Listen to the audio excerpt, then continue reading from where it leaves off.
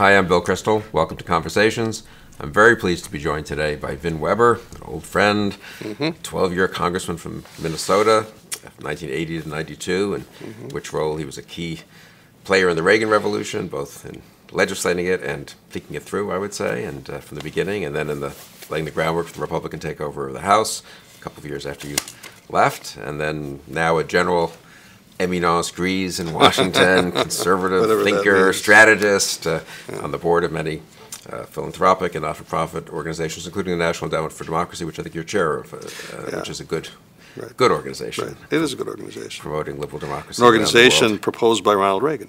Proposed by Ronald Reagan, a little not quite inconsistent maybe with Donald Trump's foreign policy. We can get back and Yeah, we'll find talk out. about that. That's actually a big question in my mind, but let's talk about that at some point. Okay.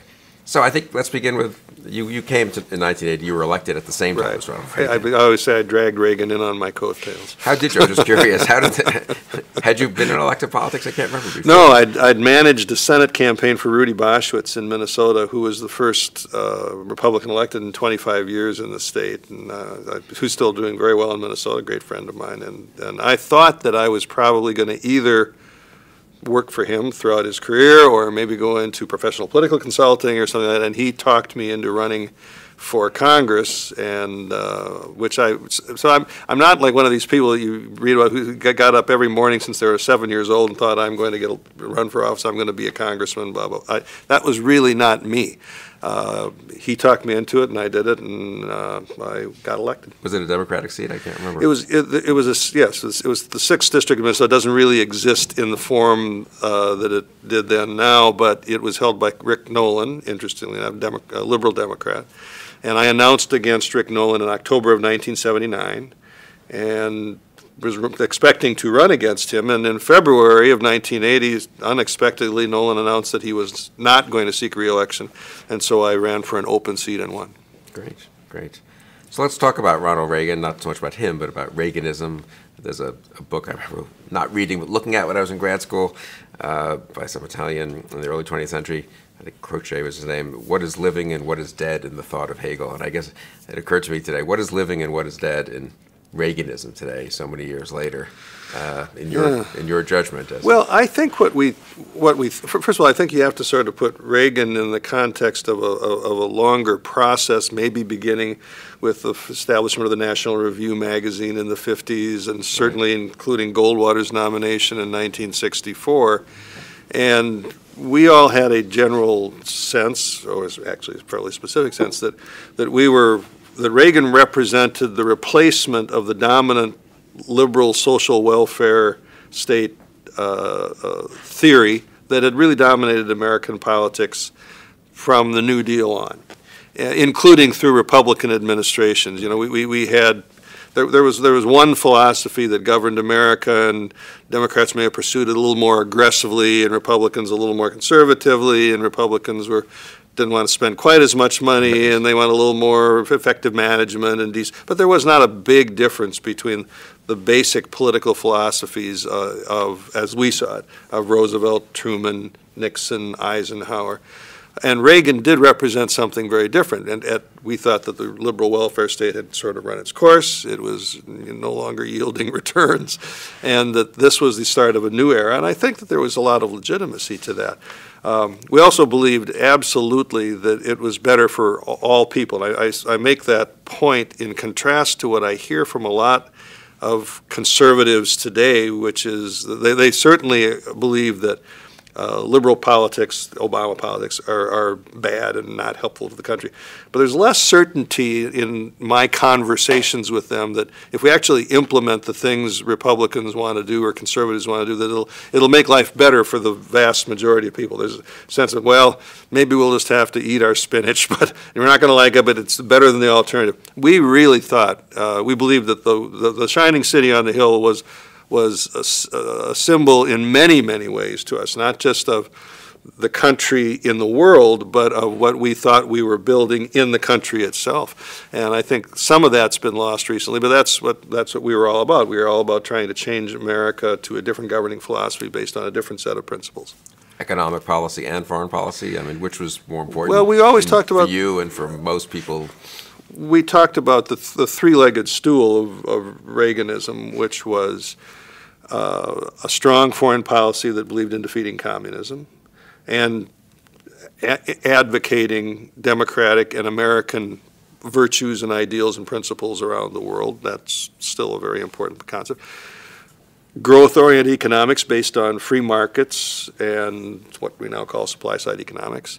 And the third piece of it was a little less defined, but it was very important intellectually. That, that is a, a social, an approach to social policy based on the strengthening of what academics would call mediating institutions. Reagan talked about the family, the church, the neighborhood, and the workplace, and all as non-governmental institutions, but also different from sort of an atomistic libertarianism where, you know, there's there's an individual here and the state there and nothing in between. That was a very important principle to us, and it still is, a, is an important principle, except it's much harder in policy to figure out how you actually do things through government to strengthen those non-governmental institutions. So, I mean, do you think Reaganism, A, does address the issues of the day, or what parts of it do? And I suppose then we can talk about politically, is it alive? I mean, is it, is it alive substantively and is it alive politically? I guess. Yeah. Take take that in whichever order you want, because those are both. Well, I still think that the, I still think the structure that we just talked about of Reaganism makes a lot of sense. Uh, I think, like any other political philosophy, the actual application of those principles changes with circumstances and time. Um, but there isn't a whole, I, I always laughed a little bit at, at Obama and people saying well, this was a new day and new ideas. And no, there's really not much difference in the principles that Obama applied from those that Franklin Roosevelt applied. And, and I don't fault him for that. There, there are some, you know, there's only a limited number of ways that government can approach solving problems, and they're based on a, a set of core principles and you adapt them to circumstances, but it's not like you invent some new approach to government totally. I totally agree with that. Because I mean, I you know, this probably both reflects the fact that we came to Washington in the '80s, but I guess I got sort of annoyed over the last few years. It was like, well, I mean, everyone knows you can't just go back to Reagan. everyone knows you can't just apply Reagan. It's a new era. And blah. As if, uh, you know, first of all, as if 30 years is like a brand new era compared to, you know, 200 that's, years. That's exactly know? right. And secondly, as if, as you say, as if the principles are basically correct, yeah. There aren't that many alternatives, yeah. really, and you know, yeah. yeah. I, I, I, always, I always like the, the quote from that's attributed to Zhou Enlai. You, I'm sure you heard when someone asked Zhou Enlai uh, what he thought of how, how, what he thought about the French Revolution, and he said it's too early to tell. Okay. you know? okay. Americans have a little different idea of, of how long a political philosophy or theory gets to be tested before you see it work. It's, we want to have immediate results, but I still think that the, the basic core principles that he talked about with different applications for different circumstances make a lot of sense today, and I think we're going to find it. Take foreign policy, for instance. I, I, I, I still believe in strength, and I think that the, a military buildup is necessary now, as it was when Reagan came in. And I think a, that's almost becoming a consensus position. Uh, less consensus, but I believe it strongly, is I think that political stability still requires us to figure out how to promote democracy and human rights around the world. It is not easy, and we've learned some hard lessons and, and had failures in our attempts to do that over the last several years. That is to be sure. But I still try to think of a way that you can have stability and prosperity and, and peace in countries that, that are uh, not governed the way our country's governed. And I, I, don't see that there's an alternative anymore. The, the days when we could put the Shah on the peacock throne and have stability through military power in Iran, th those days are pretty well gone. So the notion of, uh, of exporting, if you will, democratic values or helping to establish what we believe are universal values, and that's what Reagan believed, is still an important thing. And, and as opposed to throwing that idea out, we need to figure out how we do it more effectively and better. Now, as you mentioned in introducing me, I, I've spent now 17 years on the board of the National Endowment for Democracy, including being its chairman. And so I'm, I'm very dedicated to this idea, but I also realize the limitations of it, having seen things that didn't work. But it would be a huge mistake to turn away from it at this particular point in our history. And more broadly, in the same vein, it seems to me, I think we agree on this, that the, the degree to which American power and standing by our allies and sort of being willing to deploy forces and use force if necessary and also stand up for democracy around the world is sort of key to the whole world order which has done a lot of good things in the last 70 years. It's become so, again, I get so annoyed when people are sort of, you know, poop, oh, well, that's, that was then, and now, this is now, and everything's a failure. And the, the Yeah. costs of abandoning it seems to be that basic view. And that is more bipartisan. That's not just Reagan, Truman, and uh, you could say that's the Truman Reagan view. And I think Obama began the departure from it on the left, and now Trump on the right. And I guess, so how worried are you, was thinking on foreign policy for a while, about Well, I'm, that. I'm, I'm, I'm very worried about that. I, I, you know, it, it was a bipartisan view for a long time, s- initiated probably by the Democrats who were in power after all, after World War II and Harry Truman and people like Scoop Jackson in the United States Senate.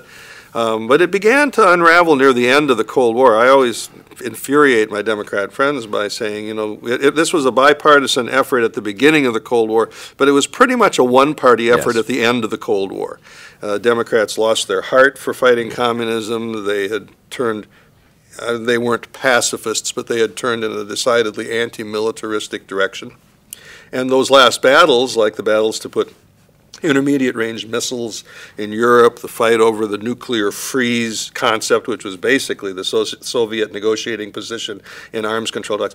The Democrats were all on the other side Right. of those issues. Most of the Democrats, always notable and honorable exceptions, but most Democrats were not there. And, and that's why when people say that Ronald Reagan won the Cold War, I think that's a fairly defensible statement. And I do think it's to the honor of the Republican Party that it really carried the burden for those last dozen years or so. I mean, literally in the sense that it was Reagan and Bush who were president. Um, and if you want to go back, almost Nixon, you know, think about it, eight, Right. 20 of the last 24 years of the Cold War era were under Republican presidencies. That's and, exactly right. Uh, with a little fair, as you say, not as much Democratic support for this allegedly bipartisan view of American power and the centrality of America standing up to the Soviet Union and so Right. forth, Yeah, I- as people I- now I don't- think. So. I, I- I think it's important to make a point. I, I don't think the Democrats in this period we're talking about concluded that that America was equivalent to the Soviet Union. And I don't believe that. They, they believed in America as much as any of the rest of us did. But they'd lost their heart for the fight. Right. And uh, they'd lost confidence that we could wage the fight successfully. And so Republicans, led by Reagan, really had to do that more or less by themselves against a lot of opposition from the left-wing base in the country. Opposition, I mentioned on this, the, the missiles in, in Europe, uh, aid to the Contras in Nicaragua was one of the most vicious fights all the time that I was in Congress. And the, most of these battles that we look historically at in terms of the Cold War, the, Democratic Party either vacated the field or were overtly on the other side. And then post Cold War, it seems to me, from about, let's say, 94, 95 in the Balkans through, what, early post Iraq, 2004, 2005, so that's a decade, I guess. You had a pretty good bipartisan consensus about American leadership, both uh, in terms of uh, deployment of force, uh, trade, the whole kind of structure of global order. Well, one- of the interesting things about that period of time, the- the Clinton period, really, and I'm sure you remember this, but in the 1992 election, a lot of the people who were referred to as neocons, who had, and I think that term no longer really applies to the people to whom it is applied. Right. But at the time, a, a lot of those folks had a hard time choosing between Bill Clinton and George H.W. Bush because they thought that the Bush foreign policy was too much realpolitik uh, and, and not dedicated to spreading American values, and they thought maybe Clinton would be better than that. A number of them backed Clinton. Jeane Kirkpatrick did not back Clinton, but was famously courted by Clinton and thought about it, and uh, uh, and he did indeed come into office doing a lot of things to spread American values around the world. He made some mistakes, to be sure.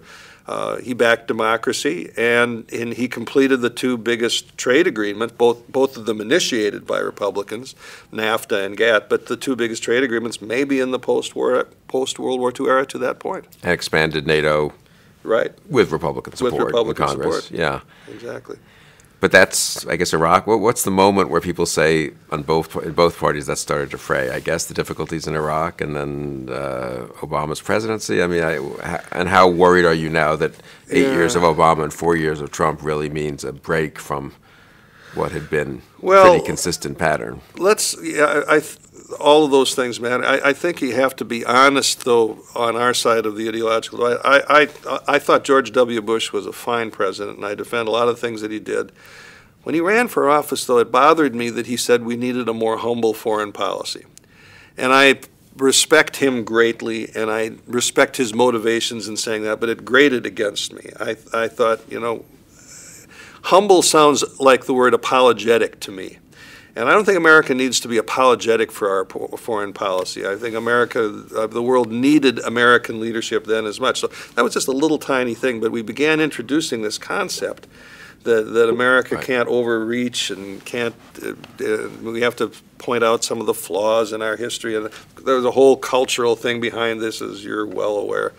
Uh, the, and it, it, it, was a, a, an unraveling of kind of the view of America's role in the world, the view that America had of itself going forward. And then Obama comes into office and just validates all of this negativism about America's history, the so-called apology tour, which he doesn't like to acknowledge. But, but you know, there, there, there's all of us, particularly you know people like you and me that went to college in the 60s, 70s. You know, we, we know what the, the people on the left at that time really believed. They, they were it was an indictment of America from top to bottom. And I don't say that Obama believes all that or that Bill Clinton believed most of that, but there's that element of thinking there that know, America we really have done a lot of bad things and it ran out of control in the Obama administration. It, it gained dominance, it seems to me, in the Obama administration. That thinking that America is more of a, has been more of a problem in the world than a solution to problems. And then the reaction to it turned out to be Trump, not, you know, let's say the reaction that we would have preferred. I mean, uh, Romney's reaction in 2012 was very consistent with Yeah. the sort of Reaganite vision of America, kind of the kind of critique that you just made of Obama. Right. Um, but the, having beaten back Buchanan in the 90s, uh, if I can put it that way, and Yeah, right. and then Ron Paul, and it, there's always been that element, obviously, on the American right and an American among the American public, Fortress America, kind of isolationism. I think that's right. America first.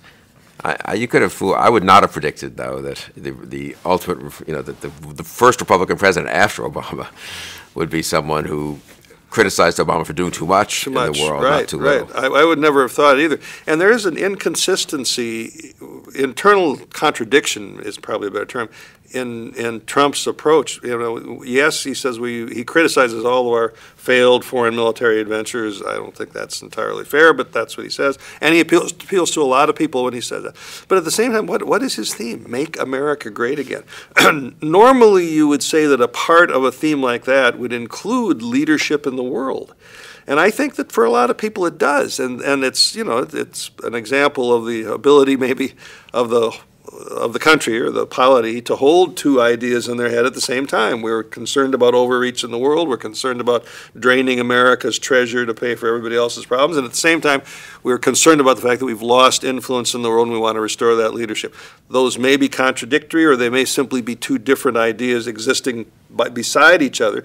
But that's, I don't think that Trump's campaign resolved that at all. And I still don't know which way he's going to go as president of the United States. Yeah, I was going to ask that. So, does, which way does reality push him? Does it turn out to be politically easier not to get involved in things because perhaps a war-weary American public won't make him pay a price, or does it turn out to be easier when reality shows you what happens if America doesn't get involved? Does he end up defaulting more to a Well, foreign I, policy that we would like? well, first of all, you know, I think everybody's learned a little bit about the limitations of intervention. We, you know, we, we, we and so I, I suspect that military and foreign policy advisors are going to be a little more cautious Right. about advising intervention regardless. But beyond that, you know, President Trump's signature is strength. And how, how many times are we going to be challenged around the world before he figures out, I've got to respond to this or I'm going to look weak? So I would bet that before, before he's done, he finds that the uses of American power are pretty important. And Russia, how, while we're still on foreign policy and now on President Trump, I mean, you've actually done a lot of work on NED's been involved in Russia, Yeah. and Oh, you've yeah. done a lot of work Yeah. on Putin and Putinism. Let me say a word about that and sort of how, how big a threat is it and how worrisome is it that Trump seems to have decided to be friendly to Putin? It's- It's, very substantial uh, as a threat, and I think, you know, in the context of the Cold War, I remember the comment, I'm sure you do too, be that people made, "Wh- why are we so worried about, I can't remember the thinker that says it, why do we not worry about the British or French nuclear arsenal? because we don't have any concerns about the British or French intentions and motivations. That's why we worry about the Russians. Okay, take that forward to now. There are substantial reasons to question the motivations and values of Vladimir Putin and the Russians when it comes to democracy and political order. It's not just that they have a different system than we do. Um, when I started as chairman of the National Endowment for Democracy in the Bush administration, uh, we worked all around the world. There were a few places where the government made it impossible to work, like Cuba, North Korea, Iran, made it very, very difficult to work in the country. But most places we could go in, and, and our work, by the way, was funding local activists, not sending Americans in to do the work. We fund people from the country that want to build human rights and independent media and move toward democracy. Uh, but we didn't face most of the, in most places, active opposition of the governments, except in those exceptions I mentioned. Putin really initiated a change in that that is now spread to many places in the country. He passed what in the trade we call the anti-NGO law. It's still on the books, and people are prosecuted under it, uh, which basically makes it very difficult for foreign-funded NGOs to work to promote human rights, democracy, or political activity in Russia. It was picked up by Hugo Chavez in Venezuela, and now has been replicated by autocrats in many other places in the world. Um, and it, he, it, it's not just that he is not himself a democratic leader, but that he has a philosophy of st stopping the spread of democracy. That's why we worry about him, and that's why you know I, I I, I, don't know where the president will go with this. It, to say to say that a, re, a, relationship with Russia would be a, a, better thing is something it's hard for anybody to argue. I'd rather have better relations with I guess everybody. But the question always is at, at what cost. Uh, and there's not much evidence that we can do deals with Russia for which we do not pay a far greater cost than we get back in terms of benefits.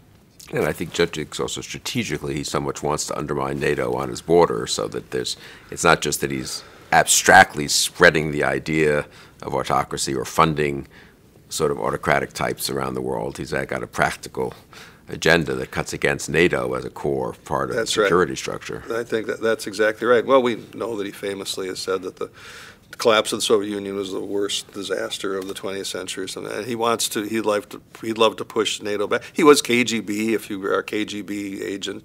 NATO is the ultimate enemy, you know, it's, uh, we've, it's, I mean, it is, the, in that case, there is sort of a, an equivalency, not moral equivalency, but an equivalency in that they view NATO the same way we view the KGB and the Warsaw Pact as the ultimate enemy. And, and the difference is that NATO still exists and he's frightened by it. You were an elected politician, and you're in touch with a ton of elected politicians. I mean, how how much is this just, gee, if we had a good articulator of a, the kind of foreign policy you and I would like, the public would rally to it, and how much is there genuine public resistance and, quote, war weariness and so forth, uh, in your judgment? I mean it's, uh, it's there's a little bit of both. Um, I think that there's a, a, there's a skepticism of our ability as a country to do things effectively in the world. That's that's more than I would say war weariness. There's a there's a there's, there's a doubt that we're going to succeed. Uh, even you know the most classic example is the Iraq War, and it's it's I do not believe that public opposition to the Iraq War is because we didn't find weapons of mass destruction, so much as it is because in the aftermath of the war, we failed to stabilize Iraq. Yeah. Um, and I think that there are a, lot of examples. You get into the democracy promotion world, which I'm talking about a little bit, and they say, well, you know, we promoted democracy in the Middle East. Hamas wins the election in Palestine, and, and things are worse. Uh, we promote democracy in Egypt. The Muslim Brotherhood comes to power. We can't do anything right, and hence we shouldn't do anything. I think the the the, the, the notion that we can't succeed in doing things is much more important to understanding the public's mood than simply a war weariness implying, well, I can't take this anymore. I just I don't want. I don't think that's it. Uh, so I I, I do think that that a president who articulates the need for America to get involved in the world is going to find that the country rallies behind him.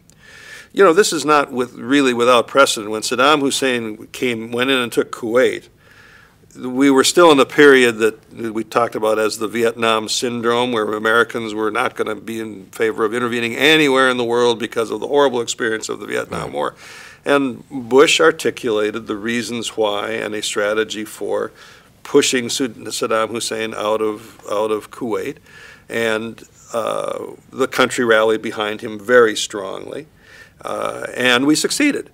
I, I still think that that's likely the case if, if, the, if President Trump found a place in the world where he thought American interests needed us to intervene militarily, and he explained it to the country, I think the country'd back him. I don't think this is a this is not a reflexively isolationist or pacifist country in my view.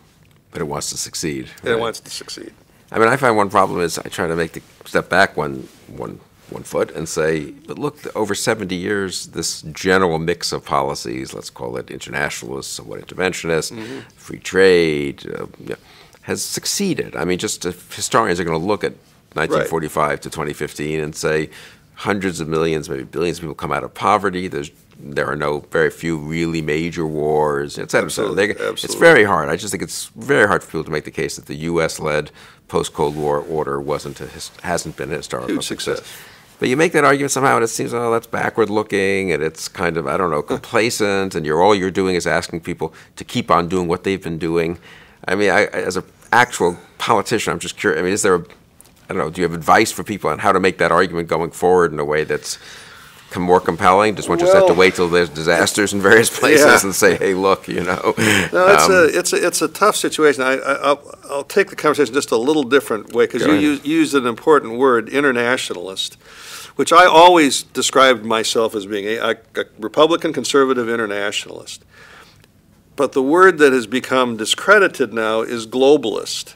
And I think there's the distinction between those two words actually leads to a fairly important discussion.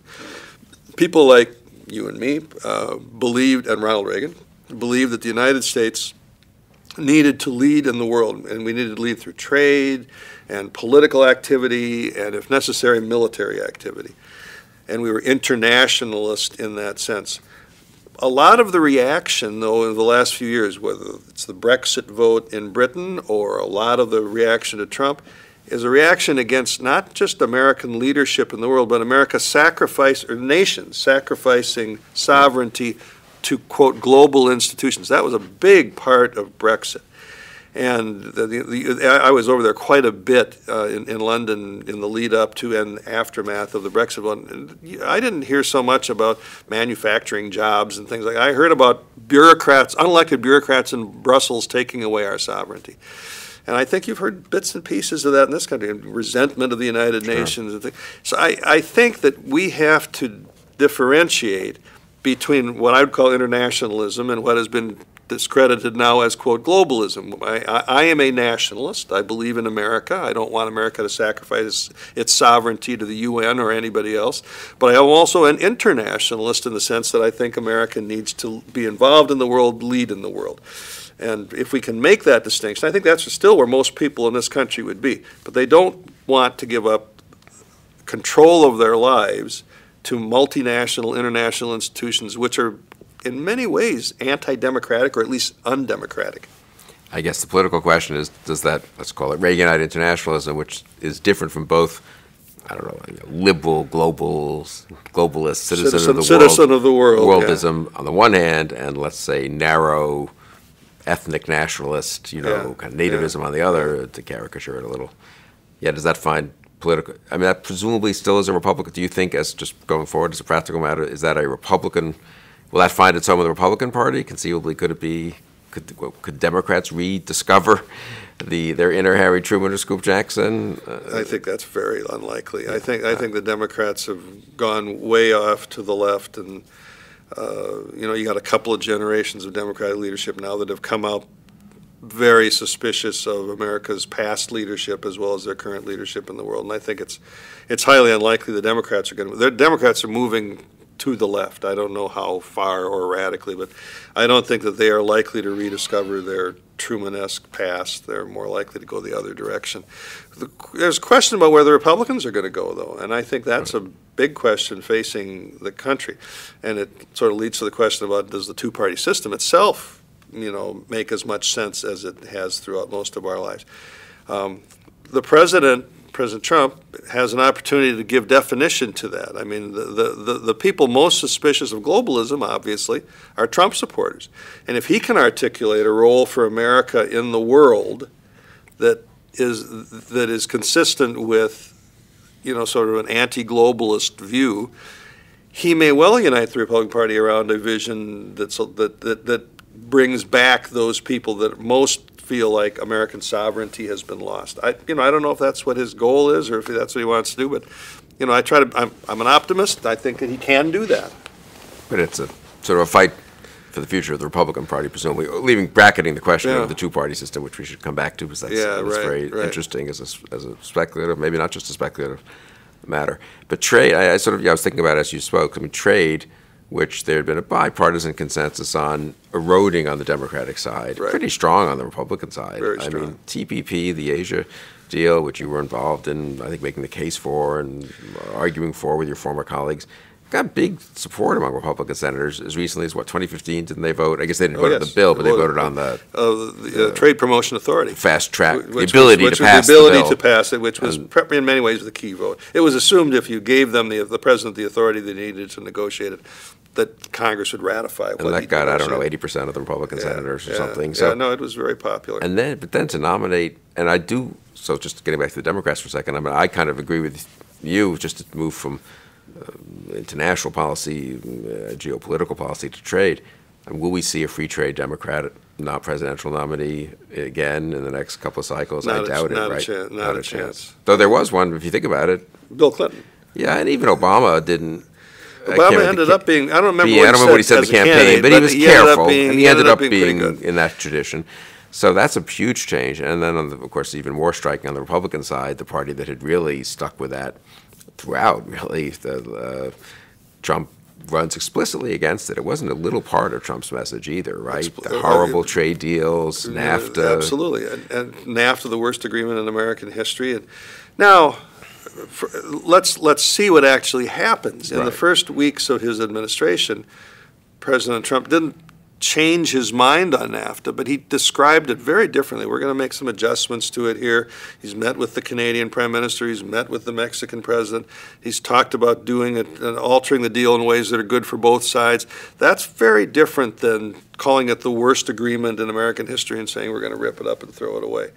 And uh, I, by the way, it it wasn't the worst agreement in American Right. history. It was a very successful agreement in many, in just about every way. So not throwing that away is a, is a is a really important thing. One of the things that's frustrating about the debate about NAFTA, I was involved in a, co-chaired a group on the outside to help the Clinton administration get NAFTA passed.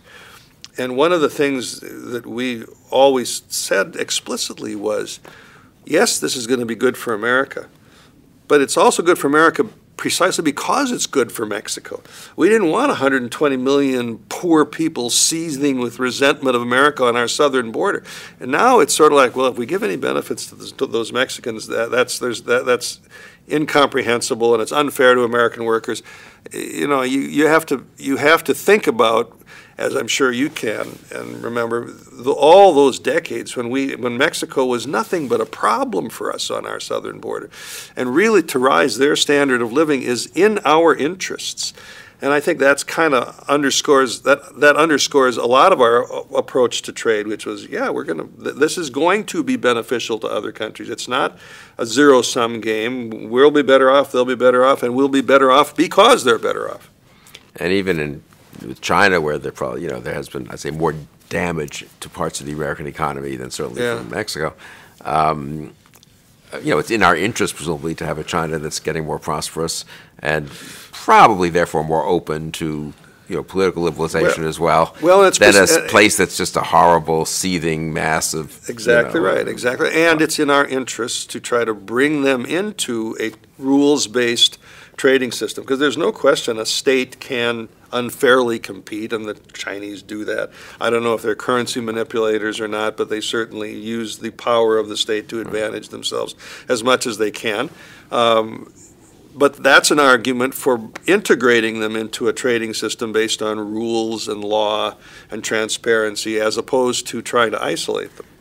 I found the debate over the TPP, the Asia deal with our democratic allies, not with China, particularly depressing in that respect. And so that's a deal that's negotiated by presidents of both parties, really. Right, uh, right. Begins under Bush, I think, and then Obama finishes it with democratic nations in Asia. So, from a geopolitical point of view, it's a sort of pro-democracy, strengthening our relations with our Sure. allies, Japan, Australia, et cetera. Uh, and from an economic point of view, who knows if it benefits us much or a little, but pretty hard to make the case that it hurts us in any serious way. We already have a huge amount of trade with those countries anyway.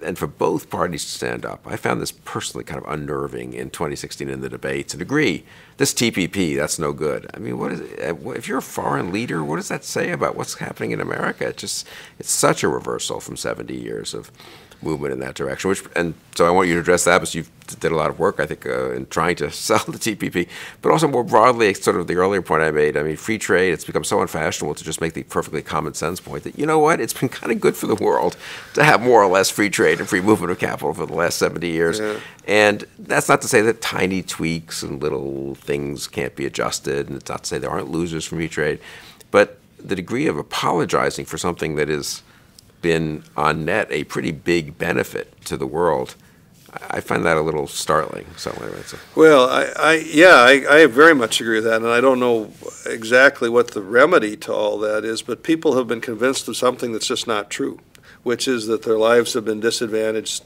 on balance by quote unquote free trade, and and it, it's preventing discussion of some more serious underlying issues, not problems, but issues that people need to deal with, like uh, the fact that we're not educating people properly for the jobs of the future, that we're not training people to take advantage, to utilize the technologies that are indeed displacing people from lots of jobs. These are complicated issues. They don't, it's much easier to have sort of a bumper sticker campaign that says, the Chinese and Mexicans are taking your jobs, we're going to stop that.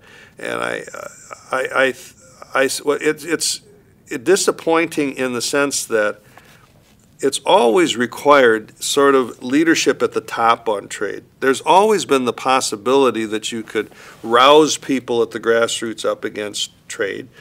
But we had responsible leaders in both parties that came forward and, and resisted that, pushed back against that, and tried to argue strongly for the benefits of America. And, and, and we haven't seen much of that. We, we saw it in, in, from either party's candidates in the last election. Uh, I, you know, I, I, the, I will say in one regard, Trump's position is more admirable on that than Clinton's because I think he believes it. Right. I don't think Mrs. Clinton believed what she said.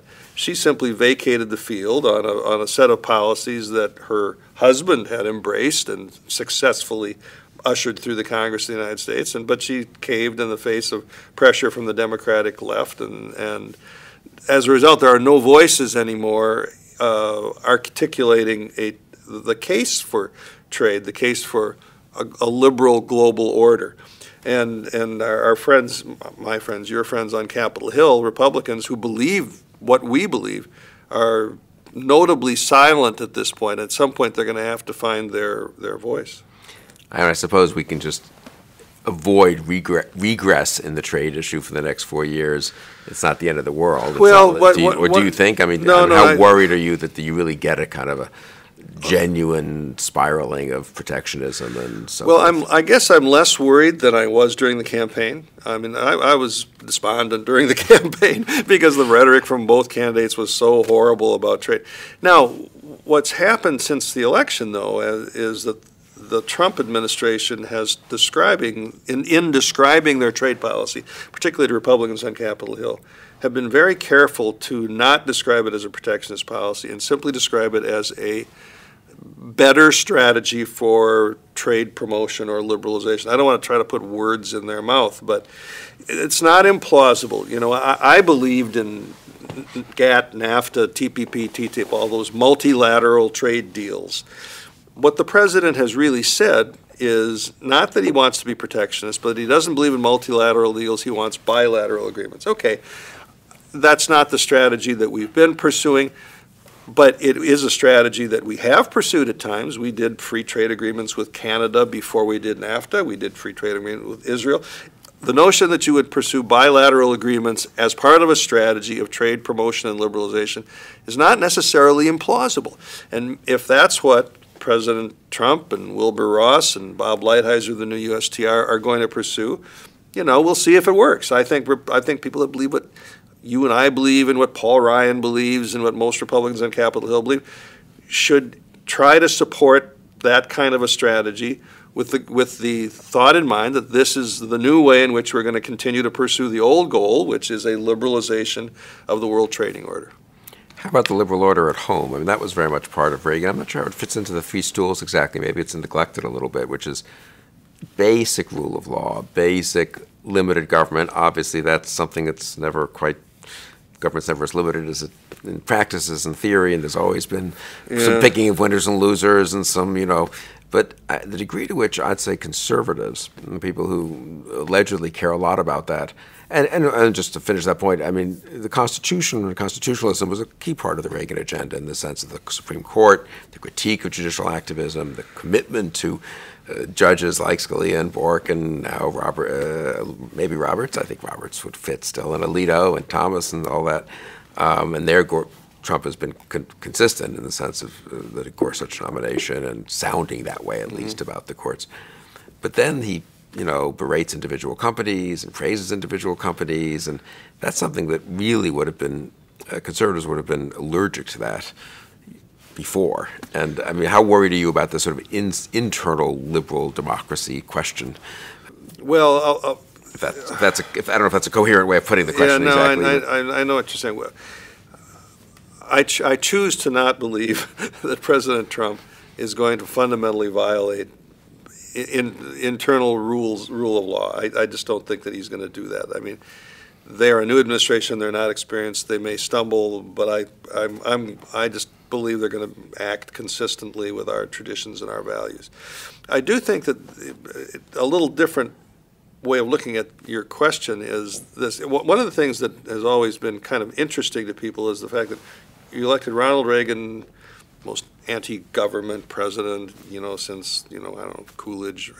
And during his presidency, confidence in government rose dramatically. Right. And I don't think those two things are at all inconsistent. I think that for, for I think that Americans, uh, contrary to what our most libertarian friends would like to see, do think that there's a role for government. And they're ready to support governmental action, probably more than most very conservative Republicans would like but their confidence in government has to be premised on the notion that government itself understands its limitations. And I think in, that's what they saw in Reagan. They, they saw, in, well, we don't need to worry about government getting too far out of control. We got Ronald Reagan in the office. He, he's, he can do the things that he wants to do. We'll, be, we'll support him. But we know he has a sense of the limitations of government. Maybe that's what helped Clinton a little bit when he said the era of big government is over. Aha, we have a president that recognizes the limitations of government.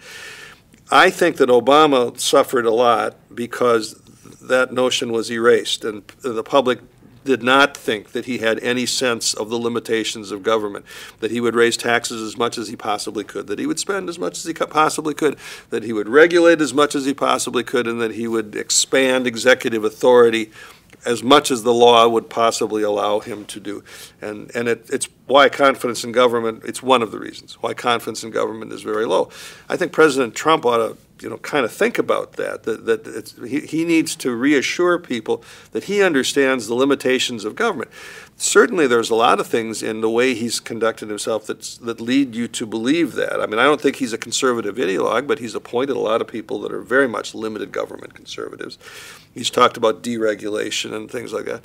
Uh, it's not quite the same as reassuring people that you understand that there are limitations to your power as, as, a, as an executive and that rules and regulations, even if they're sometimes tedious and stuff, are kind of important. Kind of important, yeah. Yeah, in a democratic process. I mean, that's yeah. that. That I'm a, and I'm a bit a little startled by how many members of Congress are just willing to who talked a lot about that. Can't government can't pick winners or losers, not just because it won't work yeah. economically, yeah. because it's sort of inappropriate.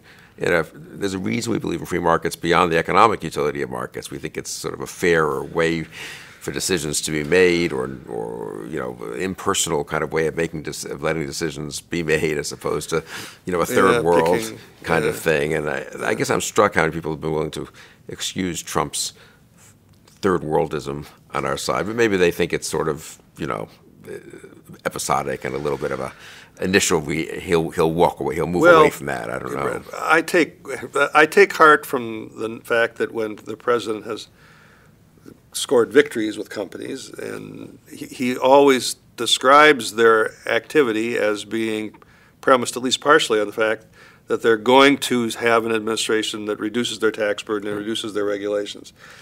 You know, it's, it doesn't answer your question about the propriety of a president targeting individual companies, but it puts it in a context that is more consistent, I think, with, Right. with, with the way that we think economic policy should be conducted. So it seems that Reaganism, you think, is, uh, I mean, it is alive and well, or in principle, can be and could be. And do you find hard among younger, you spent a lot of time on the Hill, younger members of Congress, younger Republican activists, people in Michigan, your state of Minnesota who are thinking of running, you know, the young Vin Webers of today who were, how old were you when you got elected to Congress? 28. The 28 year olds who were 28, thinking of running and today. I mean, you're in touch with them, right? They come see you and get advice yeah. and stuff. I mean, They're very, I, I think, I think. What's your sense I of that I think general- they're, they're very idealistic, and I think in this sense, just having a Republican president is going to be really helpful. Because as long as, during the Obama years, I, you know, I, uh, so we started out talking a little bit about this at the beginning. I talked to so many people that didn't really have any positive vision for what their kind of government, their philosophy would accomplish. Because the objective was we had to stop Barack Obama, who people believed was going to overreach to the far left. You know, average people said he was a socialist. The elites would never use that word, but that was what a lot of grassroots people. And the, the objective of people running for office, we have to stop this. And that's not a positive or idealistic approach. It's also not a bad approach. I mean, if you can stop government from doing bad things, that's an accomplishment. But it's not a coherent governing philosophy going forward. I think the very fact that we have a Republican president now is changing that a little bit. And as I've talked to people in my home state and elsewhere that are thinking about running for government for office, they're encouraged. They think we've got a Republican president. They're open to our ideas. We can actually do good things. Let's think about some good things we can do now. We don't need to worry about stopping all these horrible, you know, ex- expansions of the state and retreats from the world that Obama was presiding over. We can actually think about doing some good things in the world consistent with values of limited government and market orientation and traditional values. I mean, when you were in Congress, that was a key thing. You didn't limit yourself to supporting Reagan. You had the Conservative Opportunity Society and various uh, groups and forums and Yeah. books and publications and conferences. They're trying to make the case for really for younger, I'd say, conservatives and Right. Republicans, a positive agenda. Right. That's, And, and, and th- thinking politically about what was accomplished from Reagan on and, and then what was not accomplished. uh, One way of thinking about it is this, uh, most of my life until yours, until Reagan got elected, it, it was a democratic country. And if you asked people which party they had confidence in on virtually any issue, they'd say, well, I have more confidence in the Democrats. Now, they may have behaviorally gone to the polls and voted for Richard Nixon or Dwight Eisenhower, but if you say, well, which, which party's better for the economy? Well, it's the Democrats because the Republicans gave us the Depression. Which party's better for foreign policy? Well, it's the Democrats because they led us through World War II, and uh, th- th- that's why they were Democrats. By the time Reagan got through his first term, even, that had changed in some very substantial ways. The majorities in the country, big majorities, believed the Republican Party was the party of prosperity. The Republican Party was the party better able to handle the economy. The Republican Party was the party better party to create jobs. Really, an, a remarkable accomplishment from the party of Herbert Hoover. And of course, we owned the national security issue. George McGovern and the Dem- and Jimmy Carter gave us that. But we so in these two great big zones, foreign policy, national security, and the economy, the Republicans had transformed the image of our party in substantial ways. Where we had not done that was in kind of a third zone of what we'd call what uh, social policy, in not in terms of hot button issues, but in the way that political scientists would talk about social policy. Democrats were still the party for health care and the environment and education and all of those issues. And that's what we thought at that, by the end of the Reagan administration and the Bush administration, that's what we thought the new frontier was. If we can figure out how the Republican Party can propose solutions, again, consistent with our values and, and programs to address those issues, that's how you achieve some dominance for the Republican Party. And it, it hasn't happened and it didn't happen. Um, and that whole zone of issues is probably today why people say that the government has failed so much. people tried to make it happen, I guess, intellectually. There were reformer cons who were similar, I would say, Yeah. in spirit to what you did in the 80s. And, uh, but somehow it never, well, Well, you know, and, and uh, George H.W. Bush talked about a thousand points of light, and George W. Bush talked about compassionate conservatism, and we had a reform agenda in the W. Bush administration on, on education and health care, but uh, didn't quite, didn't quite get there. yeah, no, that's interesting. I guess we've been discussing Donald Trump as a kind of Republican president. Yeah. But that's half, that's true, of course, but it's, we've sort of neglected the other side of the equation, which is he's an extremely unusual Republican president, having had no particular affiliation with the Republican Party until very recently. right. Obviously, the first president ever, I guess, not to have held either elective office or cabinet office or, or having been a general in the United Right, States right. military. So that's part of even a broader um, novelty of Trump. But I mean, on the issue of I want to talk generally about the parties and the party system, which I, you and I, I think both have the instinct could uh, change in a pretty big way. But what about Trump's election? I mean, uh, not so much on the issues, but who he is. Not a party guy, a huge celebrity. We really haven't had someone like that elected president uh, since Eisenhower, but he was a general. And it's kind of different. So uh, ever really, in, in our lifetime certainly, and before that, I mean, really. Well, there's always been, you know, the the American system has always been potentially a little more lax in enforcing your party choice than other systems around the world. You're, I'm a Republican because I choose to be a Republican. I guess I, not because I'm, you know, sorted out of Right. being something else. And and normally people that that run for office, you know, sort of adhere to sort of a tradition of being in the party and even Reagan, who's maybe the most famous party changer, Right. you know, he, he started backing Republicans in 1960 when he backed Nixon for president, and spent, you know, it was 20 years that he was a Republican, or at least behaviorally, before he actually ran for, well, became got elected president. Donald Trump take, pushed it to a different level, though. He was basically a Democrat not very many years ago. But that's not the important thing. The important thing is that in his coming into the Republican Party, he didn't really try to establish himself as a true blue convert to republicanism or anything like that. He basically said, you know, I'm, I'm, I'm and I think he's is, was saying more or less, I'm like most of you, you know. I'm not bought, I don't buy into this whole two-party system. I got there flaws with both parties. I'm running for president. I'm going to run for president as a Republican and try to make my peace with the Republican Party, but I am basically an independent those are not his words, those are my interpretations of, of how he approached it.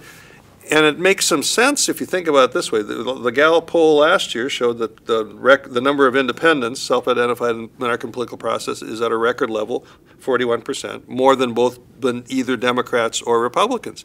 So President Trump was basically reflecting what was going on in the country. Most people are saying, I, I don't have much use for the two parties. But we do have a system where it's pretty hard to get elected if you're not part of one of the two parties. Donald Trump said, I'm going to be a Republican. And what he did say, though, I think, and this was important, is I will be good on the gun issue. So the one of the major Republican interest groups was fine with him. I'll be pro-life, and I'll appoint pro-life or pro uh, Yeah. Supreme Court justices consistent with Right, right, uh, right. not embracing Roe v. Wade. Let's put it that way. Um, and a couple of other issues he Uh, kind is- of Issues, by the way, not embraced by the Republican establishment when Reagan ran for the nomination. I Isn't that interesting? Yeah. But doesn't that show? I mean, you made this point in a separate conversation we had. The interest groups are in a way more powerful than the party. I don't know that he could have gotten away with not being sound on the gun issue. Uh, Right? You're totally right.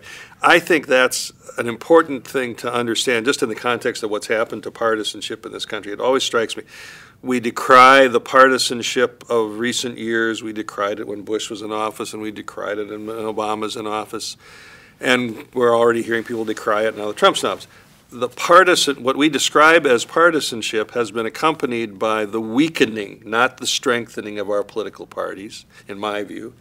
And the many of the functions of political parties have been taken over by interest groups. Yes, on the financial side, that's what a lot of people focus on because you can now, raise money quite independent of parties.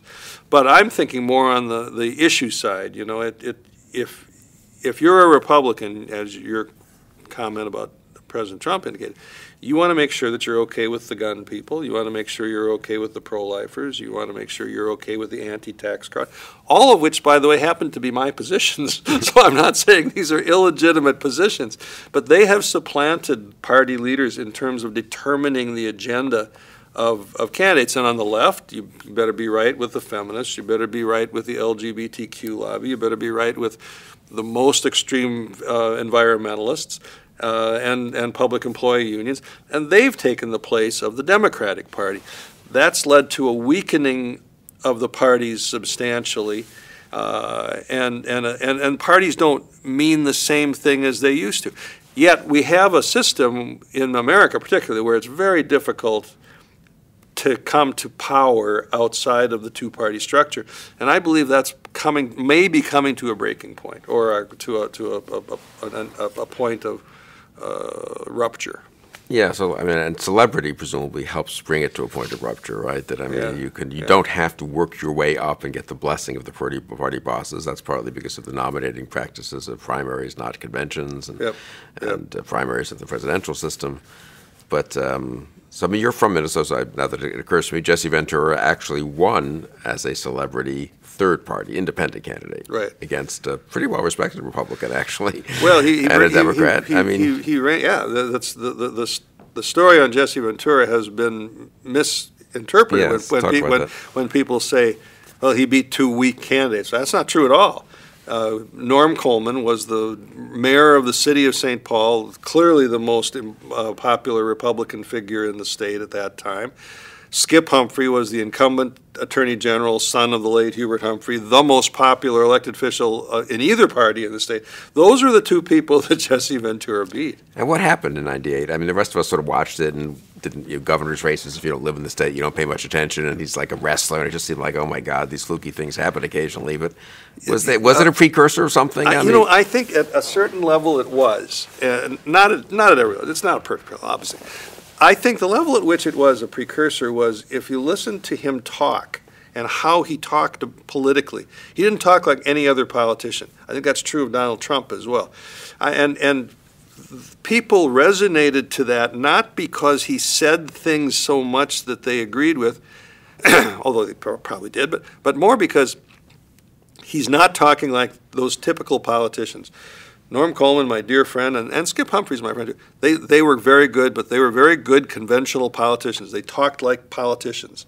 And Jesse Ventura would say things that, that just offended people, you know, all over the place. You know, he, he was he asked by a group of students, um, famously, uh, what, what he was going to do for student loan, to finance students' college educations. He says, if you're smart enough to get into college, you ought to be smart enough to pay for college. Now, nobody else would say that. Right. It's insensitive. It's you know sacrificing our future. Or you can say that because you're a wealthy performer. He said it, it was just fine. He insulted welfare mothers, uh, and, and yet it, that's nobody put it into an issues matrix and said, well, he's wrong on this and he's wrong on that. They thought I, he's refreshing in a in a strange way, and you might call it a vulgar way, but he's refreshing. He's not talking like a politician. We saw a lot of that with Donald Trump. How often did Donald Trump say things that we thought were offensive and that were going to disqualify him? And I don't think to, to the average person they said, "Damn right, that's what I think." They they sort of said, "Finally, somebody is not talking to us in this political blather." That we've gotten- become accustomed to. So I think that was a forerunner in that way. and Schwarzenegger, I guess, a little bit too, maybe in California. Another example. So yeah. I wonder. So is that so? Okay, so we have a president. He's he's governing now as a pretty partisan Republican. Ironically, not Yeah, having been a yeah. Republican, right? He doesn't less outreach to Democrats, I would say, than in a typical beginning of a Republican administration, or even the reverse, or even Democratic administration, less outreach to Republican. You know, he really is. Maybe that's just because he thinks he can't get any votes of people who any support from the current Democratic Party. But Yeah, it's, it's hard to, I, I think that's an important point. It's hard to say whether, I mean, you can imagine a scenario in which he would have come into office and had a very nonpartisan administration, reached into Congress and grabbed a bunch of people on infrastructure and other things and appointed the Secretary of Labor that was blessed by the AFL-CIO because after all, he got a lot of working class votes. And he didn't do that at all. And, and you, you, you're left wondering, well, is that because we maybe didn't quite understand him, or because he understands how polarized this political environment is and he couldn't get anywhere with those people? I don't know the answer to that, but he has, you're right, started his administration at least as a, as a conventionally conservative Republican with a couple of little exceptions around trade maybe.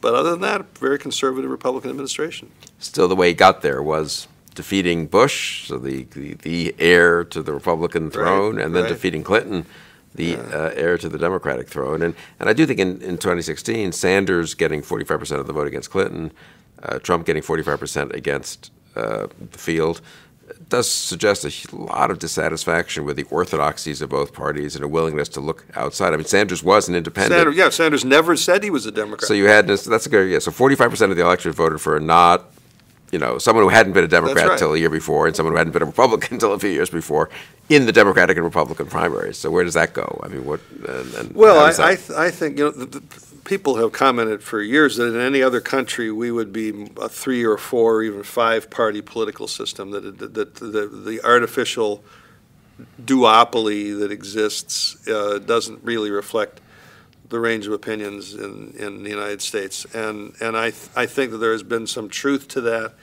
Um, and I think it's getting to the point that that's, people are not going to accept that anymore. Uh, we do have structural impediments to a third-party candidate, mainly geographic districts, the electoral college, winner-take-all elections, makes it very difficult for a third party to do anything other than be a spoiler.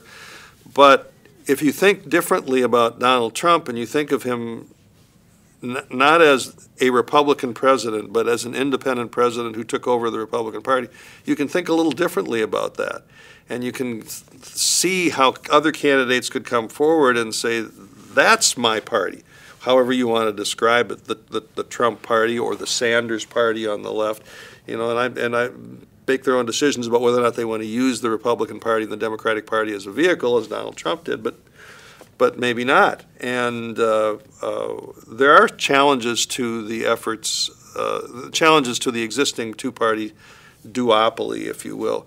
Uh, Our friend Peter Ackerman has been challenging that uh, for your years, businessman, scholar, former dean of the, or, or uh, former chairman of the board of the Fletcher School of Diplomacy, also a hugely successful businessman.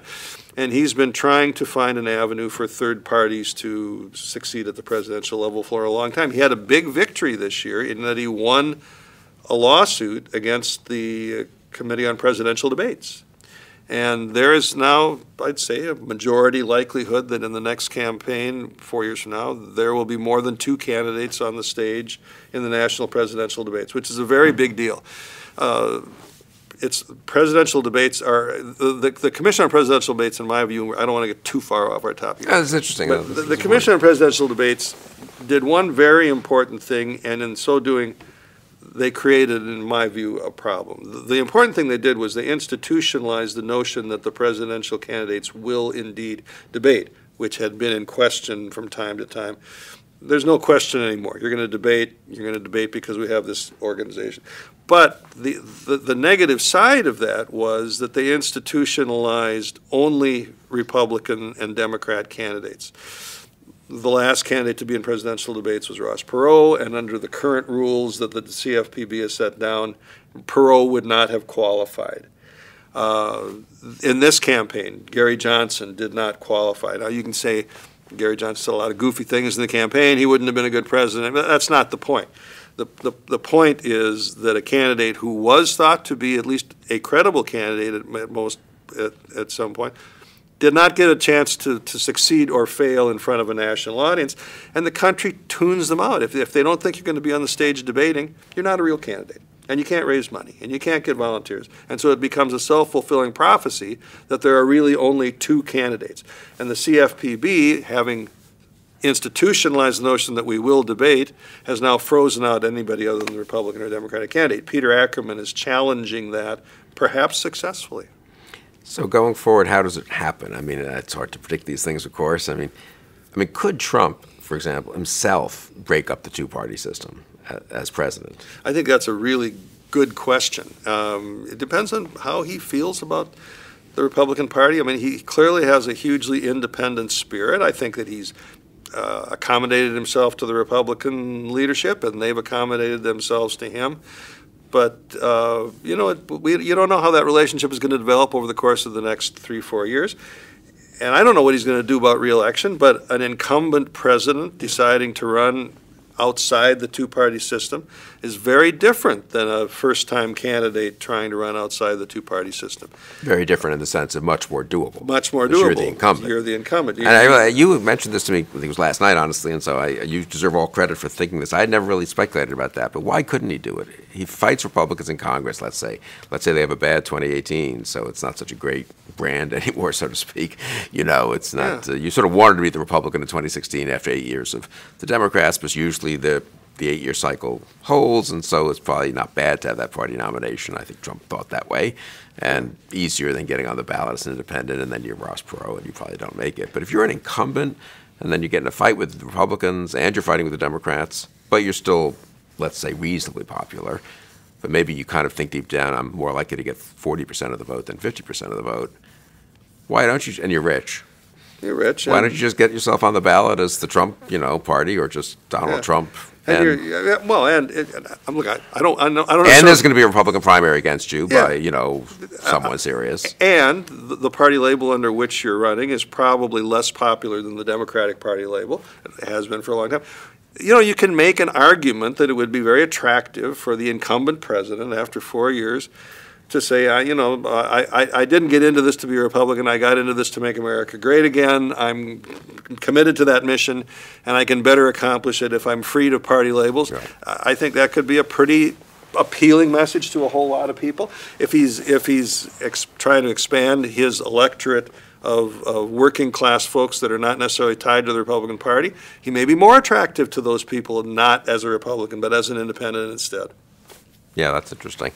Do you see much of it happening at the state level? I mean, I suppose one, I mean, one thing I'm struck by is how little there's. I mean, we had Perot, we've had these flare-ups of third-partyism, and you, the way you describe Trump, incidentally, reminded me of Eisenhower, even a kind of a guy who wasn't really affiliated with either Right, party. right. And- but after all these, fl- either Eisenhower himself or Perot, we or even Ventura and Schwarzenegger, it, it's surprising how little there's been. I would say at the state level. I guess maybe that's just the institutional barriers. Yeah, there, there- yes, there, there are. First of all, Eisenhower is an interesting example, and this is a question about President Trump. Eisenhower, you're right, was not really a Republican or a Democrat. He chose the Republican Party for a variety of reasons. But once he became president, he decided it was his mission to modernize the Republican Party. And he became a very loyal Republican, Right. and, and while trying to change the party into something better maybe that's what Donald Trump will do, is try to devote himself toward transforming the Republican Party. I don't know, we'll find that, that all out. It's, it's harder at the state level. You know, my part of the country, the upper Midwest, has traditionally been a home of third-party candidacies, the progressive movement, the farm labor movement, the nonpartisan league, and things like that. Um, and and they, they come and they fade, and they come and they fade, and, you know, normally they're absorbed uh, by one of the two parties, uh, and you know that's. I think that's why. I also think at the state level, it's easier for the parties to accommodate those impulses. Right. You know, state parties look like their states much less than they look like the country, and so. But, but at, a Much national. more than they look. Yeah, right. Yeah. But at a national level, if you're running for president, you know, you've got to be the party. Uh, you, you define what the party is. So I think it's harder at the state level, but I would, I still would expect we're going to see more of it. You, it's not exactly the same, but you see efforts in municipalities to change the way in which we elect people, ranked choice voting, and different experiments with different ways of electing people. This reflects an unhappiness with the simple two-party system that we've had in the past.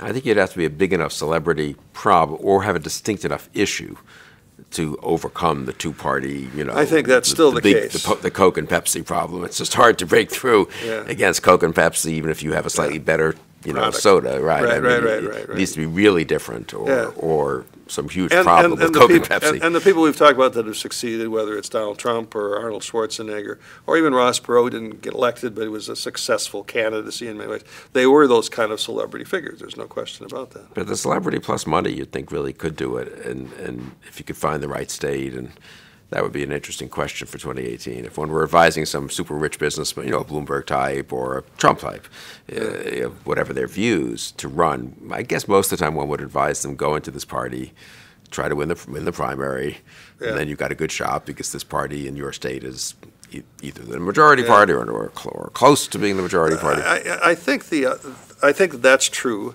I think we also, though, there's sort of an assumption in that, that, that you have to be rich to do it. Um, But both Bernie Sanders and Donald Trump and Barack Obama showed that there are different ways of raising money now than there That's a used to be. point. And, you know, that l- leads to the question of, well, can you, can you only raise that kind of money if you are a huge celebrity and everybody knows who you are and they'll, they'll punch send and send you twenty-five dollars? I'm not so sure about that. I mean, it may be a whole different way of structuring political fundraising that enables an independent candidate with, eh, obviously you have to have something going for you. But I, I think it remains to be seen. It's an open question. Can, can you mount a candidacy? Certainly, the barriers to political fundraising have been, have, have fallen a great deal because of the internet. You can raise money now and, and, and because of the changing nature of the media. So it's, at least in theory, possible for candidates to come forward and fund a campaign without being personally wealthy. And I suppose people on the Republican side, like us, uh, we've been so obviously, in the country has been as obsessed with Trump, and he won, so it's a whole different level of. I mean, it's Right. important. Um, I think San, the Sanders phenomenon, do, do you agree, has been just undercovered and underappreciated as a Oh, yeah. fact? I mean, Yeah. no one thought in two years ago that Bernie Sanders, the probably what the most left-wing member of the Senate, presumably, someone who was too left-wing to be comfortable calling himself a Democrat, and so he ran as an independent, Yeah, though he yeah. with Democrats. Would you know? He didn't really quite come close to beating Clinton, but he put a scare into her, and he got 44, I think 45 percent of the vote nationally. And it wasn't as if he was a charismatic young guy who was, you know, uh, who, and it wasn't the, you know, it wasn't as if it was an ethnic candidacy or a you know, racial candidacy or something distinctive, or the first woman that was on the other foot, you know, uh, an old uh, Jewish, you know, left-wing socialist Democrat gets 40. What does that say? I mean, I really do think that's we haven't thought. People haven't generally not internalized what that could say going forward. You know, and, and we and I most of me, me and most of my conservative friends, you know, we you know we sort of look at the left as kind of a spectrum anyway. So Sanders, of course, is to the left of. Obama and Clinton, but it's all kind of one, you know, it's one swamp of big government progressivism, and it's just he's a little more extreme. But maybe we're underestimating the kind of distinctiveness and importance of the Sanders Well, I phenomenon. think, I think there's something there for sure, and I, I guess what I would grab onto is, that as much as you and I may look at, oh, certainly Obama, and maybe even Clinton as being on the left, there was no sense that they were trying to reject the American economic system. That's You know, every, every now and then somebody would say, you know, is Barack Obama a socialist? And the pushback on that was very, very strong. How could you say that? Well, Bernie Sanders is a socialist. Yeah. I mean, he does reject, and, and I, that, that's, I think, the key to sort of beginning to understand the difference between his movement and others. It's a movement of people that are ready to reject the, the basic tenets of American capitalism. We haven't really had that before in a major party candidate uh, or major a major candidacy. I don't even know how to describe him because he's he's a, he's he's not a Democrat and yet he's the maybe the most influential figure in the Democratic Party today. I mean, he's the first person to endorse Keith Ellison for Democratic National Chairman, and he's not a Democrat. But he has become an effective Democrat. And, and it, it speaks to your point, which I think is a very important one, and I think is a huge contrast with foreign parties, that we absorb our Yeah. insurgent movements. Yeah. That's partly, because, very much, I think, because of the federalist nature of the party, so that, it, that they don't have to absorb them in Europe, where it's centrally controlled parliamentary parties, and therefore they don't choose to absorb them, and therefore you've got third and fourth parties on the right. Right, right. I think generally it's a healthy thing in the U.S. that you get the Tea Party emerges on the U, on the right, and it becomes part of the Republican Party, right. and which I think both allows you to get hopefully the, the best of the kind of the new thinking and the insurgency, but also to not let it go off the rails into craziness, you know. Right, and, and right, so you get Ted Cruz and Marco Rubio in the U.S. Senate instead of having some, you know. I don't know, Le Pen-like third or fourth party against the established conservative party, Right. and the same on the left. Uh, Sanders would be the perfect example of that. And I guess if history were to obtain, you know, Sanders should be like Ted Cruz, and they both ran and lost, and they'll but they're major figures in their party, and one assumes they'll stay in their parties, and have heirs, or in Ted Cruz's case, maybe run again Yeah. four years or eight years from now. But I don't know. Maybe, as you say, with the incentives having ch- the, the the barriers being lower, and or one can imagine an issue or two coming up which really splits the party. I suppose that's possible. Also, you know, just to think about what seems to be different about this particular moment in our history. You've always had, or often had, movements of people on the left or the right into party politics, and they're all, they always cause alarm, uh, whether it's the anti-war movement or the civil war movement, civil rights movement in the Democratic Party, or uh, and on the right, the Tea Party we can talk about. Goldwater and Reagan, of Goldwater. Reagan, uh, the movement of evangelicals into the Republican Party in the 1980s. Always, and, and what usually happens is you have an election or so, and all those people come in and they raise hell, and people get alarmed by it. And then after the election, the more irresponsible elements sort of fade out, and they go back and doing their own thing. But the ones that that stay have figured out how the system works, and they want to, yes, they want to change it and they want to improve it, but they become parts of the party and become the new party leaders. And the question, is that still what's going to happen with the Trump phenomenon in the Republican Party? And even more, a question in my view, with the Sanders phenomenon in the Democratic Party, because Sanders does not appear to be trying to lead his people into being absorbed into the party. He wants to fundamentally transform the Democratic Party into something very different. I mean, I suppose one question will be: Will there be real primaries in the Democratic Party in 2018? They have a bunch of Demo- moderate, sort of moderate Democrats from at least from Trump states, from red states, who are for reelection. And the normal political analysis, I've, you know, over the last now that people have begun looking ahead at 2018 as well. Do the Republicans have a chance to defeat, you know, Heidi Heitkamp in North Dakota, or Tester Yeah. in Montana, or you know, Joe Donnelly in Indiana?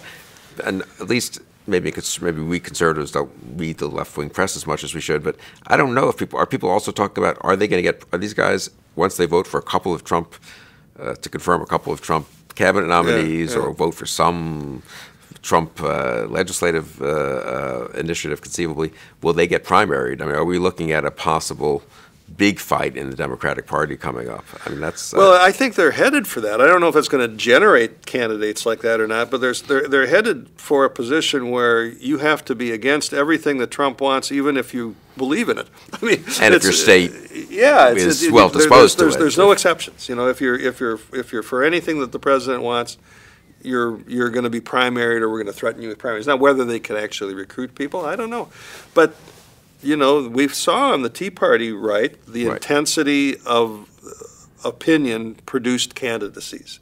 We didn't know who was going to be running, but it produced candidacies, and it may produce them on the left. and very suddenly. I mean, I think people we take it for granted now that it happened, and Ted Yeah. Cruz and Marco Rubio, Yeah, and they emerged.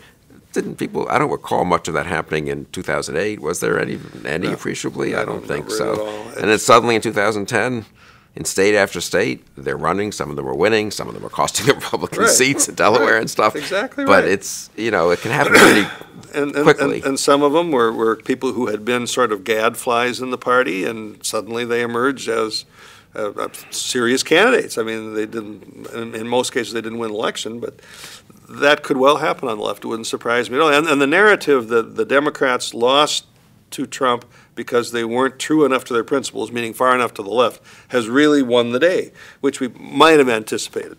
Um, that's usually the incentive, the, the way a dynamic uh, discussion goes in a political party, but not always. After the Democrats had been out of power, as you well remember from Reagan Bush years for 12 years, the argument by Bill Clinton that we needed to basically move to the center as Democrats was the powerful argument. But that's not, Right. th- that argument isn't even advanced in today's Democratic Party. It's all, we haven't moved far enough to the left. Yeah, no, that is really striking. And and then I, s- so I suppose you could have, let's say, what happened with the Republicans in 2009, 2010, happening with the Democrats in 2017, 18. That would be somewhat parallel. Yeah, we'll- Tea we'll- Party equals Sanders Yeah, we'll have to, followers. we'll have to watch and see. But the difference would be that Obama did unite the Democrats as president, partly by bringing Hillary Clinton in, and partly just because you know, he did unite them. I mean, he was kind of in the center, probably center left, but enough center that he didn't uh, terrify centrists. There weren't centrist Democrats. There weren't many left. And anyway, he certainly dominated the Democratic scene. He Well, never- you're- there you're- was never a serious possibility that he would get primaried. It didn't seem. Sure. Well, you're, you're, the, the, the, the left wing of the Democratic Party felt like their guy was in. He may not have done everything they wanted, but at the end of the day, he was their guy.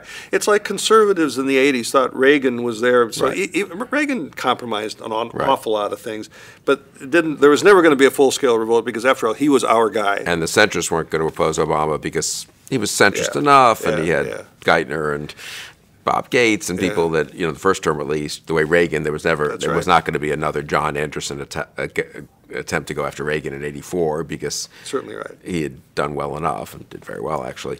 But I guess the difference this time, the point I'm getting to is, so we have the, the, let's say the normal fight within the within the out party to define the future, and partly discussed with the losing candidates. It's just like they were discussed with McCain in 08, and the Tea Party came up. You know, so, so the Sanders supporters this time discussed with Hillary Clinton. But we also have an incumbent president who it's not clear will unite his own party as Reagan and Obama did, and where you could imagine splits within the Republican Party in primary challenges. Now, do you see this much in 2018? Will there be Trumpite in open seats? So there are all these Republican, there are all these Democratic senators in red states or Right, purple states right, right. open to challenge. Will there be a Trumpite Republican and a let's call it establishment Republican and running against each other in Indiana and, and Montana know- and you know, we- Virginia and all over the place? I mean, know, we don't know. Minnesota. I mean, maybe we, we don't we don't know that, and uh, I think that the answer to that will become clear when we see what kind of fights emerge in the Congress itself over issues, and what kind of compromises what kind of compromises the president is willing to make, what kind of successes the Congress has in enacting his agenda.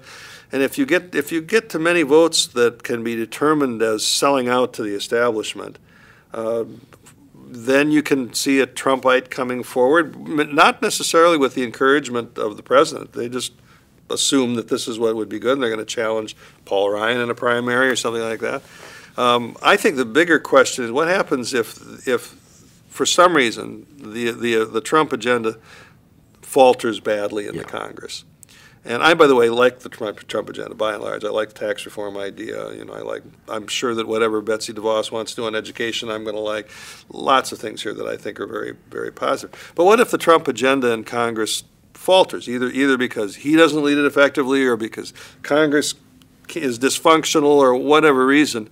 Is is he at that point going to assert his independence, basically, and will a lot of people come forward and say, the problem is we have a Congress that can't enact the president's agenda. We have to challenge Republicans in the Congress.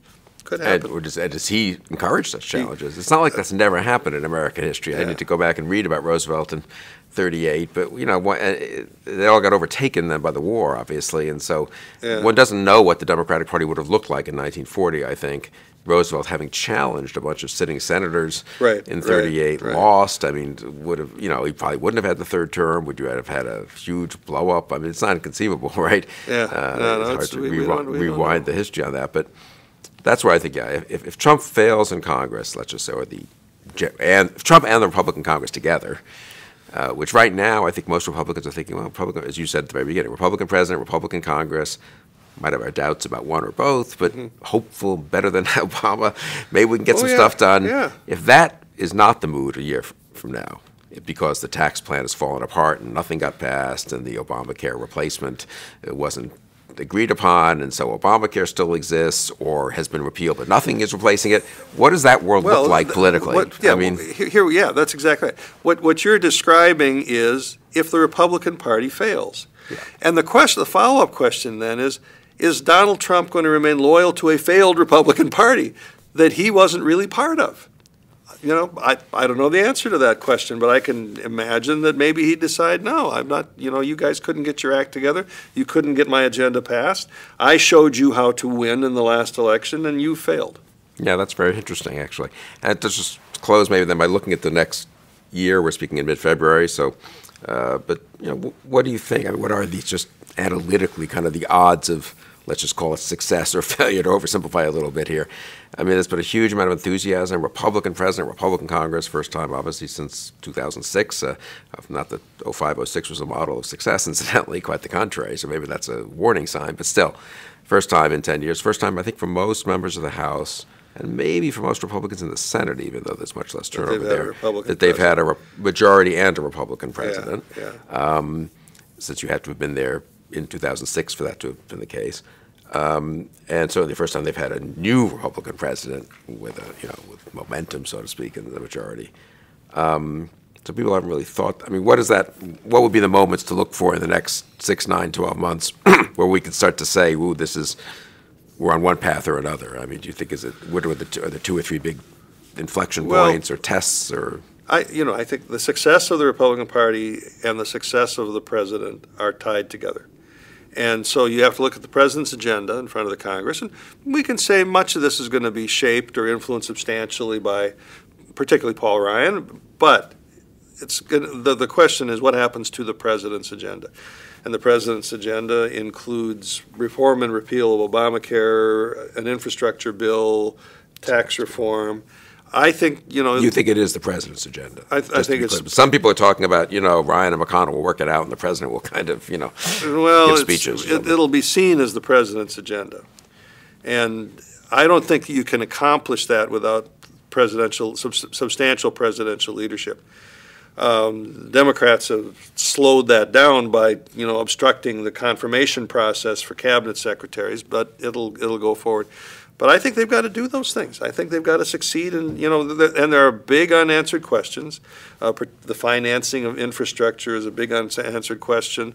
Uh, Implications for the deficit of all this are a big unanswered question. But I think if the Republicans don't come out of this having done some very big things, uh, I think that it's, they're going to suffer. I mean, the- we know the normal midterm dynamic is bad for the party of the president there's at least an outside chance the economy will sour rather than strengthen. That would be really bad. The only alternative they have is to say, you sent us to Washington to change things, and we did a number of things that are very positive. And I think, you know, taxes and infrastructure are, are biggest on that list. I, I think the best you can do on health care is kind of neutralize it as an issue. It's not a gonna, it's not gonna be a winning issue for Republicans. So they need to get past that and then do something on tax reform like the president wants to do and figure out how they can deliver on infrastructure. That's a pretty good agenda, actually.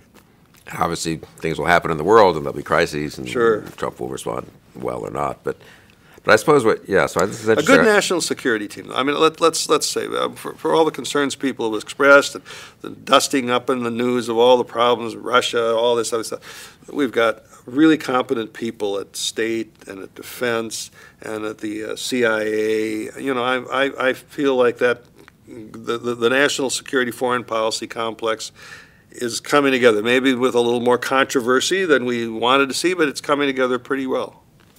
Okay, well I hope that's hope that continues to come together. And then of course the world is the world. hope, Bill. I have hope. It's just the world is the world. You can have the best The people. world you is the world. in the world. The world- you just yeah, don't well, know. that's no. I, I, let me. and the president matters or Yeah, so. Yeah, but you're right. The world is the world. I, I, I, I- I've thought for a long time that presidents and presidential candidates for a long time have gone way too far in blaming everything wrong in the world on their predecessor. I, I think that Obama really was guilty of that with, with Bush, but I think that we have been guilty of that with regard to Obama. There are some big problems in the world that are simply really difficult to solve, and you know I don't. That, I'm, I'm not pessimistic or fatalistic about it, but I think you got to acknowledge that this, this is a difficult, turmoil time in the world. But to get back to, to, to, I think your very interesting sort of scenario, it does seem to me, that, and I had not really thought about this, that a year from now, there could be a moment if, let's just say, the Republican agenda fails on the Hill. However you define it. Define that and whoever's to blame. But the people have the sense that, gee, there was a united Republican government for the first time in a decade, and they had big promises, big hopes of change. This was a change election, and it's not happening. And then on the Democratic side, one has big fights still uh, within that party between, let's call it the Sanders wing and the you know, Clinton wing, I guess, just to make it simple. And they were evenly divided in 2016, basically. Why won't they Right. remain evenly divided? You know, Yeah. maybe Sanders picks up some momentum, so it's more. I think that's possible. But so he has a slight edge. But still, there are plenty of states where presumably there'll be resistance to that part of the party. As long you as could have not- 2018 could be an extremely unusual year, Yeah. don't you think? Yeah, I absolutely. Have we had a year when both parties were sort of battling about their identity and, and with sort of you know primaries range, raging in both parties. I mean, that seems unusual to me. Usually, I- it's I- like one or the other, One or right? the other, one or the other, but it could happen with both. I think that's entirely possible. And you, the, the only the, the only advantage the Democrats have is if you have these two factions, the Sanders faction and uh, whatever you want to call the other faction, it's easier for the more establishment faction, since they are in the minority, to accommodate the Sanders people. Right. If they were in the majority, which is a problem the Republicans had when the Tea Party emerged, creates a real problem because you can't accommodate your more, if you will, extreme faction because you got to govern the country. Democrats don't have that problem, so it's, it's going to be easier for them to paper over some of these differences. Now, the downside is they will become a real left-wing party in the course of that, and I, I still don't think that America is a fundamentally center-left country. Which then, just to finish up on this, if you look at to 2020 and that happens, let's just say the Democrats go down that course, they don't win the majority, maybe because they're too far left or for other reasons, 2018, where they only win one body, um, and then they nominate a left-wing presidential candidate in 2020. Then I guess the question is, is there a market for a sort of a cent? I don't know. So much depends on what Trump has done, of course. There could be a market for a centrist against the, the left and Trump. There could be Trump could be the kind of weird populist centrist against Yeah. a conservative and a and a left and a left wing Democrat. I mean, it's this is where Trump is really. I say this. I think you and I have had this conversation before too. That the conventional view of what a third party or independent candidate would look like has always been Michael Bloomberg. It's the upscale, liberal on Uh, social yeah, yeah. issues, It's- allegedly conservative on economics, sort of internationalist, traditional internationalist. yeah, I would say. Uh, and there is a market for that in a world maybe of Bernie Sanders and Trump. Well, that's I think that's really the Clinton and Jeb Bush and Marco Rubio and Scott Walker and John Kasich voters who were a lot of voters. I mean, Yeah, if you think right, of the primaries. right. But this, but Trump has made it so complicated because he's a kind of weird, sort of centrist, sort of radical populist version of something, which then sort of how does that fit into that? Well, I, you know, I think you're right. And I, I think one of the things, uh, Trump has finally given definition to a term that I never quite understood, but we've heard over the years the term the radical center. Yeah. And it never made sense to me because I'm, you know, I'm conventional in my thinking. Politics goes from left to right, and the center can be anything but radical. Right. I think I think I understand that now. Donald Trump is kind of the radical center. He's not a certainly not a left winger, but he's really not a right winger either. And yet, he's not a mushy moderate, you know, without opinions. He's a, he's a radical centrist, and uh, stay tuned for the further definition of that term. Because that really is the opposite of Eisenhower, and I suppose you could argue that in that respect, you know, Eisenhower was a Yeah. non-radical centrist, Yeah, it's you a know responsible centrist. The, the, the problem, one of the problems we've seen, I think, in the, the well, I can think of my own state of Minnesota, where, where since Jesse Ventura, no one has succeeded on his party, the Reform Party's ticket of winning the governorship, despite the fact some very good people have run. Tim Penny's friend of mine, and Tom Horner was a Durenberger aide, and they were both candidates. for- And it always struck me, as I said to one of them, I said, you know, the, the center has to be something more than splitting the difference between the left and the right. And that seems to be the problem that center, that, that's why this term radical center was always, at least in theory, very appealing to people. It was something not on either of the extremes, but with a very clear, definable message. Trump is the first person that's come forward to do something like that. We'll have to get back together in a year and see. See if- what happens. No, seriously, was, I think I, well, I think this has been for me useful and sort of. I always sort of say formulaically that I think the range of outcomes now is greater than it usually is, and we're on yeah. uncharted waters and various other cliches. But I think this has been useful for me at least in cl- making more concrete the ways in which one has to think about that, especially the question of the party system, and especially the question of not just the, the Democrats having their own tensions and possible breakups, uh, the Republicans though having the same, with an incumbent president partly possibly being the, Yeah. the the spark for the breakup. That's very unusual, I think. It's totally unusual, but, uh, you know, we have to try to figure out what's the best reflection of America at this point in time. I mean, you, I don't think, I don't think, uh, people like you and me, I suppose, tend to look at it from the top and say, well, here's what's happening, and how is the country going to react to what's happening? No, it's, how is what's happening a reflection of what is already going on in the country? That's what Donald Trump, that's what, that's what people like you and me who have been his critics, that's what we probably don't understand, is the degree to which he is a reflection of something deep in the country that we didn't fully understand.